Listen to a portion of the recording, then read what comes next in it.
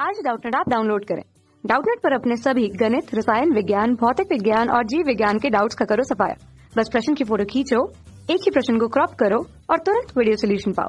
अभी डाउनलोड करें। नमस्कार दोस्तों, हमारा प्रश्न है कि, दोस्तों यहाँ पर हमें अभिक्रिया दी गई है और हमें बोला गया है कि इस अभिक्रिया को संतुलित कीजिए, ठीक है? तो हमें दोस्तों यहाँ पर रासायनिक अभिक्रिया दी गई है और इस रासायनिक अभिक्रिया के समीकरण को हमें यहाँ पर संतुलित करना है, ठीक है? तो सबसे पहले दोस्तों हम यहाँ पर रासायनिक समीकरण लिख लेते हैं जो कि हमें प्रश्न में दिया गया है।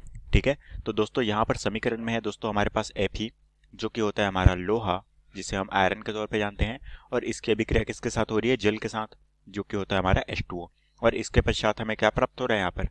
F E three O four ठीक है, जो कि होता है हमारा, यहाँ पर हम इसे क्या जानते हैं? आयरन ऑक्साइड के तौर पे, और साथ में हमें क्या प्राप्त हो रही है? हाइड्रोजन जो कि गैस के रूप में प्राप्त हो रही है, ठीक है? तो इस तरह से दोस्तों यहाँ पर अभिक्रिया हो रही है। अब दोस्तों हमें इसे संतुलित करना है, ठीक है? तो संतुलित करने के लिए सबसे पहले हम देखेंगे कि यहाँ पर लेफ़्ट हैंड साइड में हमारे परमाणु की संख्या और राइट हैंड साइड में परमाणु की संख्या यहाँ पर कितनी है, ठीक है? तो सबसे पहले दोस्तों यहाँ पर है हमारे पास एफ़ और एफ़ की संख्या यहाँ पर कितनी है? हमारे पास उत्पाद में जो एफ़ है, इसकी संख्या हमें कितनी प्राप्त हो रही है? तीन प्राप्त हो रही है। तो हमें यहाँ पर संतुलित करने के लिए इसमें क्या करना पड़ेगा? इसमें तीन एफ़ लगाने के लिए इसमें हमें तीन का गुणा करना पड़ेगा। ठीक है? तो हम कह सकते हैं कि यहाँ पर एफ़ की संख्या कितनी हो गई? तीन हो गई। अब दोस्तों, यहाँ पर हमारे पास एफ़ की संख्या संतुलित हो गई, ठीक है? अब दोस्तों, हम किसको देखेंगे? ऑक्सीजन की संख्या को। ऑक्सीजन का यहाँ पर कितना है? यहाँ पर है एक परमाणु और यहाँ पर कितने हैं? चार परमाणु हैं। तो हमें दोस्तों, इसे संतुलित करने के लिए यहाँ पर क्या करना पड़ेगा? हमें दोस्तों यहाँ पर चार का गुणा करना पड़ेगा। तो इसके पश्चात हमारी ऑक्सीजन की संख्या यहाँ पर संतुलित हो गई। पर दोस्तों हमारी हाइड्रोजन की संख्या क्या हो गई? बढ़ गई। और कितनी हो गई? चार और दो। कितने हो गए? आठ हो गए। और यहाँ पर तो हमारे पास दो हाइड्रोजन है। तो हमें इसे आठ करने के लिए क्या करना पड़ेगा? यहाँ पर चार का गुणा करना पड़ेगा। ठीक है? तो ये जो हमारी अभिक्रिया है दोस्तों, ये हमारी क्या हो गई? ये हो गई हमारी संतुलित रासायनिक अभिक्रिया।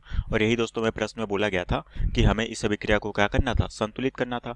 ठीक है? तो हम दोस्तों इस संतुलित अभिक्रिया को पुनः लिख लेते हैं।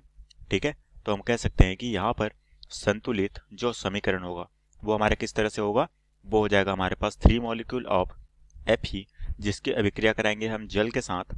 इसके पश्चात हमें क्या प्राप्त होगा? इसके पश्चात हमें प्राप्त होगा F E three O four और साथ में हमने यहाँ पर चार मॉलिक्यूल अब जल लेंगे तो हमें क्या प्राप्त होगा? Four molecule of H two gas यहाँ पर प्राप्त होगी। तो ये अभिक्रिया दोस्तों इस तरह से होगी। और यही दोस्तों हमारे क्या है? संतुलित रासायनिक समीकरण, जो कि हमें प्रश्न में पूछा गया है। और यही दोस्तों हमारे प्रश्न का उत्तर है। तो आशा करता हूँ दोस्तों आपको ये प्रश्न समझ आया होगा। धन्यवाद। कक्षा छठी से बारहवीं से लेकर NEET I I T JEE वो एडवांस के लेवल तक। एक करोड़ से ज़्यादा छात्रों का भरोसा। आज ही डाउनलोड करें डाउट नेट ऐप या व्हाट्सअप करें अपने सारे डाउट्स आठ चार सौ चार सौ चार सौ पर।